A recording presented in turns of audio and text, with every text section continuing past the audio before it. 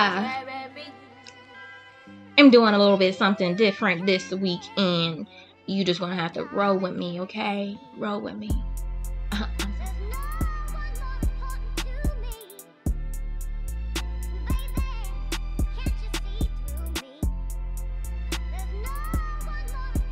like I said, I am so sorry. This is not like the other YouTube channels because I ain't trying to be like them other YouTube channels. You know what I'm saying? So anyway, this week I'm doing something a little bit different. Just a little bit. Just to add a little a little za, you know, a little sauce, a little flavor, a little switch up, you know. Um this week I'm listening to Tre Howl, right? Tre Howl, and he's an artist out here in Cincinnati, and I had the pleasure to spend some time with him this week. So I'm gonna show you a couple uh shots that we got, that we got. Beautiful shots, beautiful shots. But um, let me go ahead and show you these videos right quick before we get into this sound. So how long have you been doing like music and been in the field? All together, shit, really my whole life. Been in choir since junior high. Uh, before that, my music teacher gifted me an organ in like the fourth grade. Yeah, she gifted me an organ and uh, taught me how to read music. Ever since then, I was up.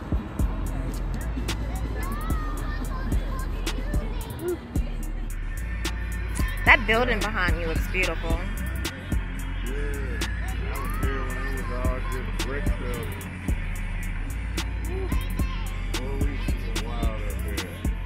Tell me about it.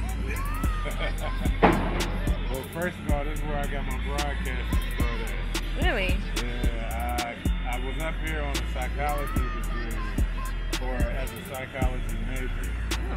But that was only because I didn't get into CCM. Mm-hmm. So I was like, I guess I'm a big psychology. Like I got into school, I might as well take some classes then like first two weeks of school, somebody was like, "Oh, Bearcast Radio is doing something."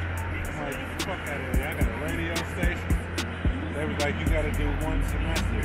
No bullshit. I did one semester. After that, I was doing my radio show, playing basketball in the rec center, and like just rapping. I was I recorded my first mixtape in the production studio. Wow, lucky. Like, a lot of people just, can't say that. I be straight gorilla with my shit. I got a production studio to record commercials. Yeah, I'm recording commercials in there. Then one day the program director was like, hey, uh, are you doing the mixtape in here?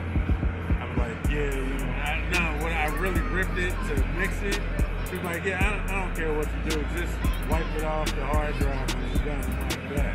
I dropped three mixtapes out of that production studio.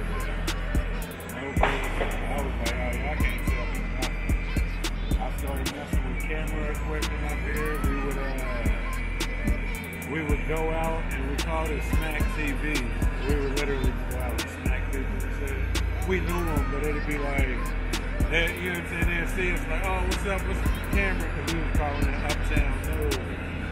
And like, yeah, like talk, say that shit for Uptown Camera. Dude would start talking, we just slap. Like, psych, nigga, slap TV. We done recorded like bar fights, the whole nine. Shit was fucked up. That sounds like fun. Somebody threw a table out of the seventh floor lounge up there. Up here? Yeah. That was before they redid it. Was different back then.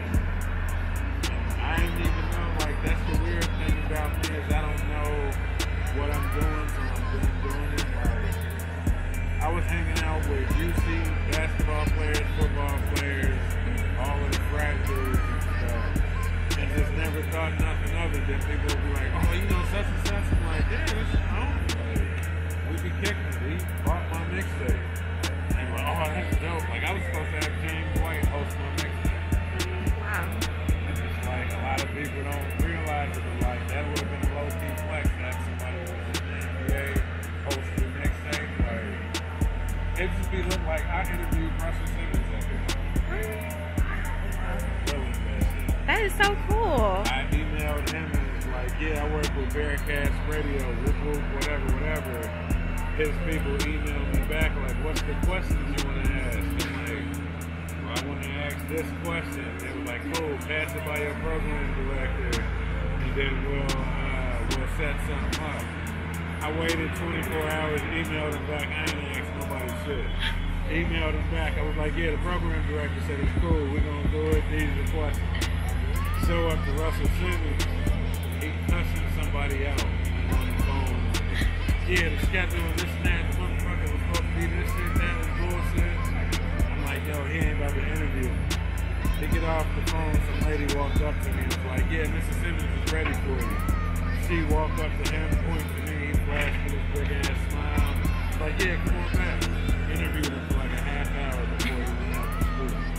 And then when he went out to speak, because I was sitting in the front row, he just waved like, oh, what's up, Frank? I was like, yo, get the fuck like, this can't be right. I was this close to interviewing Maya Angelou the same way. Yeah. I, I, I would have kept. You know what's the bugged out part? What? I don't have none of the Russell Simmons images. All I got is a Facebook picture with me with a terrible perm in my hair. 'cause That was the style back then. I make it sound like it was the 80s, but this shit was 2005.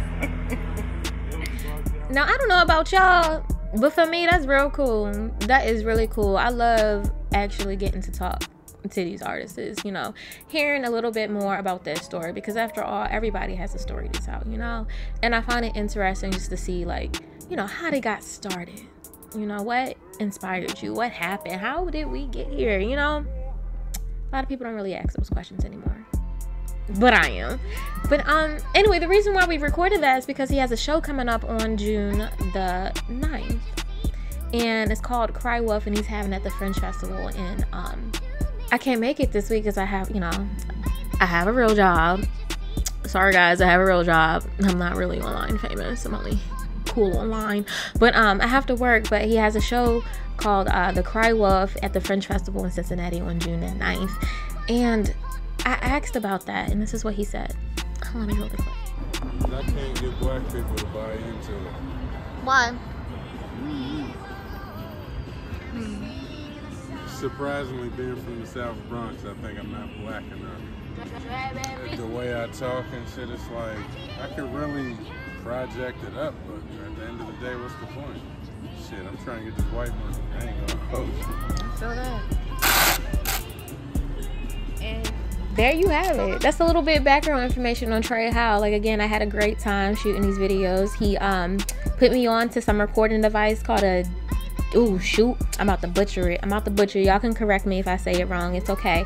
Um, DGI, DGI or DVI recording camera.